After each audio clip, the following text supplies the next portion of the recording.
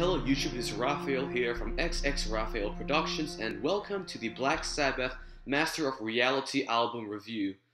This is personally my second favorite Sabbath album, with Paranoid just having an edge over it due to my favorite Sabbath songs like Iron Man or Fairies Wear Boots being present on that album.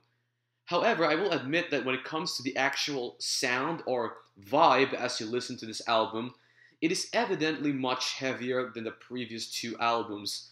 And as far as I know, Paranoid's guitar tuning is actually standard, but this album, Master of Reality, is about either a half step down or a step down, which gives it that heavier sound as well. But nonetheless, some members of Black Sabbath, like Tony Iommi, admitted that Master of Reality was supposed to be a lot heavier than the previous two albums as well, which to be fair, is very evident as you listen and get engaged into this wild ride. The album is actually much, much shorter than Paranoid. However, despite being much shorter in length, they actually have the same amount of tracks because that is around 8 songs, starting from Sweet Leaf and ending with the album closer into the void. Some backstory before we begin our review. So, Tony Iommi had his accident with his middle and ring fingers back when he was 17 years old. But this is the first album where he actually started using different tunings, mostly around half step down or even lesser than that. The first two albums were actually all in standard tuning as far as I know, and he had developed a technique for fretting power chords using an index and pinky fingers after his accident. He expanded upon his playing style first on this album, by downtuning the top string to D and C sharp, etc., so that he could play more, uh, you know, complex chord uh, patterns, which allowed him for the playing of basic power chords with one finger.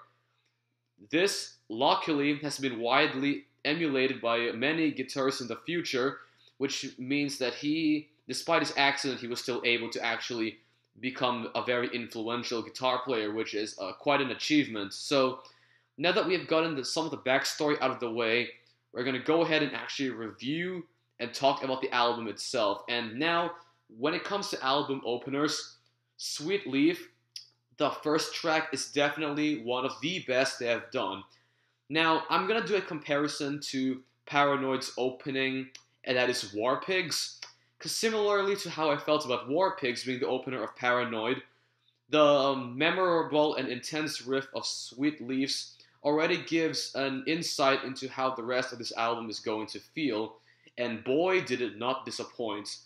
Because I will tell you, the riff is one of those riffs that are instantly recognizable after you hear it once or twice, and it just gets you like hyped every single time. So, speaking of Ozzy Osbourne, the lead singer of Sabbath at the time, speaking of Ozzy Osbourne's vocals, I kind of classify his voice as a love it or hate it, hate it type and what I mean by love it or hate it is that prior to making this album review, there were tons of people I had spoken to just to kind of gather a general a general opinion of what they think of Ozzy Osbourne's voice, and they have had all drastically different opinions. So I am not talking about the actual songs themselves. So when I'm talking about Ozzy Osbourne, I am simply referring to his vocals, the way it sounds. So get like the songs out of your head for now. So isolating Ozzy Osbourne for this particular part. Tons of people I've spoken to um, say that some people love it, some of them find it irritating. Uh, I've managed to conduct this from when I asked around my school, my parents, and a bunch of other family friends as well. Um, I also had something similar like this when I was talking about Axl Rose and Guns N' Roses, because their their type of voices are, are those that kind of appeal to certain demographics. So you can't, I know you can't please everyone, but these type of um, sounds, I guess, appeal to certain type of people, and you may find it um, as a plus for Sabbath songs, or you might find it as a detriment. Which, in my opinion, I think it's a plus because the kind of sound that Sabbath is going for, Ozzy Osbourne definitely nailed it, in my personal opinion. But now we're gonna go ahead and talk about the album cover itself, which, to be fair, is not really mu- not much to write home about. Simply put, it's simply the band name along with the name of the album. But despite it being incredibly simple, this is one of those album covers that sticks with you despite its simplicity. and whether that is due to the amazing listening experience you get while listening to the album, which is definitely a factor. But to me personally, there is something about the way this album cover is designed that is just perfect the way it is. So I know that it's quite simple, and hell, some people might even say it's a bland album cover, but in my personal opinion, decorating it way too much would probably kill what makes it great. And this is an example of sometimes less is more, which is definitely how I feel about the cover of Master of Rea- Reality. I'm sorry. That is how I feel about the cover of Master of Reality. Okay? So that is the album cover of this, and let's get it out of the way now, and we're gonna talk about the ch- tracks themselves. And um, I know we already talked about Sweet Leaf earlier when it comes to the opening riff and everything, and all these vocals shining through. Let's go straight into After Forever, which is track number two. There are some moments, okay. I don't know how many of you watching this video are fans of the Friends TV show, but if you know that show and then you listen to After Forever, you will definitely know which part of this song I am referring to when I say that it is very similar to the intro of Friends. But getting that out of the way, once again, another catchy and memorable riff, along with what appears to be trying to show to the listeners that they were not a satanic band. Because, like, let's look at After Forever's lyrics. I mean, I will show it right now on the screen, and you can read it along with me. But let's go ahead and um say what I could gather. So I actually looked this up before I made this review about why After Forever's lyrics were kind of on the nose, but turns out Sabbath were dubbed satanic against their will.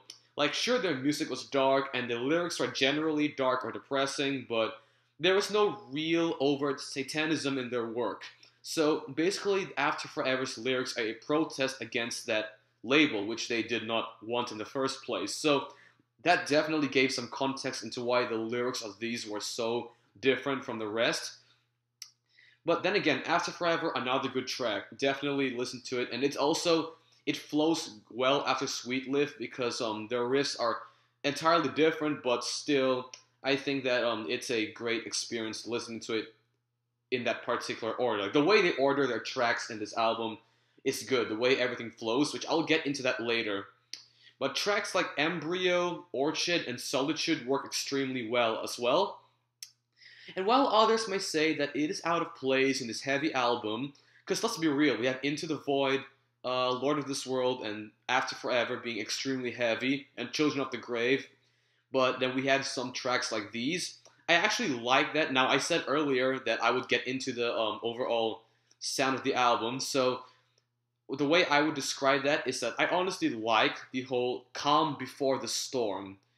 It's that kind of trope that is present throughout this album. Like, it is very easy. Like, example, we had very long songs like Solitude, for example. Well, not very long, but I mean, like, if you compare that, it's some people might classify that as a filler song, but I think that it served well as a calm before the storm type because if you go ahead and, like, think about it, they actually could have fallen into the trap of making it drag on and on and making it boring. But in this album, however, not one moment of this album was boring. Every part of it was perfect, to be honest. I mean, I know I said this album is shorter than Paranoid, but I think the length is perfect the way it is. Now, some may disagree with me on that, but as I said before, everything, in my opinion, flows perfectly. So, basically, it serves as a cool balance from the heavy tracks to the more somber tracks, if you will.